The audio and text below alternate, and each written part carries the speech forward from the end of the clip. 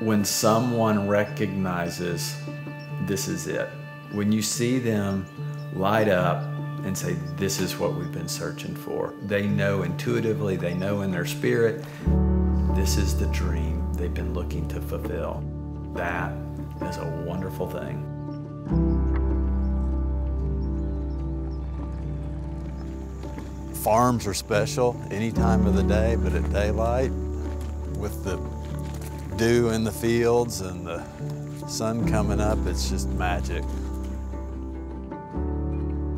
It just strikes a chord. It creates just an absolute feeling of a huge world.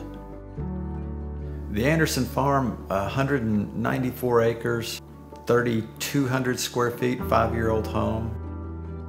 Just the way the house sits on the little hilltop here overlooking the farm in front towards Lookout Mountain. Property has 50 acres in pasture. It's fenced, cross-fenced, has a spring-fed pond.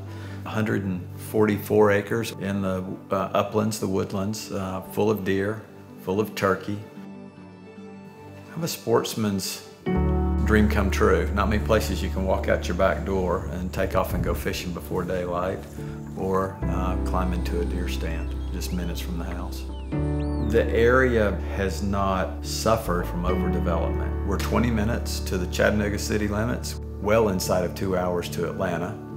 We've got Lookout Mountain to the west. Um, not many places you can sit and have dinner, look out over your pasture with Lookout Mountain um, as the backdrop.